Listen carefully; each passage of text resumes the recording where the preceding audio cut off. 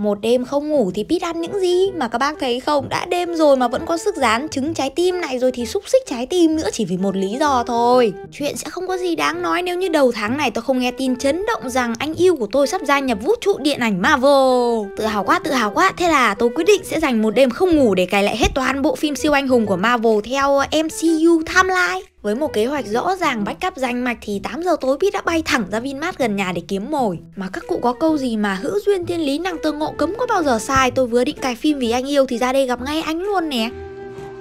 Các bác có thấy chồng yêu của tôi không? Ai ăn cơm không? Tôi nấu cơm chưa Nấu cơm của chồng yêu đấy. Bắt đầu luôn. Ở đây có ba vị là cơm bibigo vị kim chi, cơm bibigo vị gà và cơm bibigo vị rau củ nhưng cuối cùng tôi đã chọn ăn vị gà đầu tiên. Đọc hướng dẫn thì sẽ có hai cách sử dụng cho cả người lười và cả những người không lười. Chúng ta có thể bóc ra hở hở tới cái vạch quy định sau đó cho vào lò vi sóng quay tầm 1 phút thì là cách thứ nhất. Tại cái bụng nó cũng bắt đầu biểu tình rồi cho nên là bỏ lò làm nóng cỡ tầm khoảng 1 phút ăn được luôn cho nhanh. Trong lúc đó tôi sẽ làm một quả poster mini cho anh Park Seo Joon để coi như là anh đang ngồi ăn cùng mình. Đấy xong lại còn bắn tim chiếu chiếu chiếu cơ mà. Bình thường tới đây đây các bác chỉ cần trộn đều lên phát nữa là ăn được rồi. Còn tôi thì ngựa lắm thích đổ ra đĩa một cái đĩa xinh xinh. Xong mượn thêm cái chảo rán chả hồi tối của mẹ để dán thêm quả trứng hình trái tim nữa. Ủa alo đứa nào ba giây trước còn đang kêu lười mà ta? Ừ thì tại ai đấy đẹp dai bắn tim nên là tôi mới đi dán trứng hình trái tim đây Còn về hương vị thì tôi thấy cái hộp cơm ăn liền này sẽ có khẩu phần ăn bằng một cái bát con hàng ngày của mình. Sợ cơm tơi, mẩy và dẻo có màu vàng rất là óng ả đẹp mắt. Và cái màu vàng này thì mình nghĩ là do cái bột nghệ ấy Vì khi ăn sẽ cảm nhận được khá rõ hương vị này. Kết hợp thêm với quả trứng rán lòng đào biếu biếu, ngậy ngậy trộn đều lên nữa thì vừa xem phim vừa ăn chả mấy mà hết luôn cái bát cơm này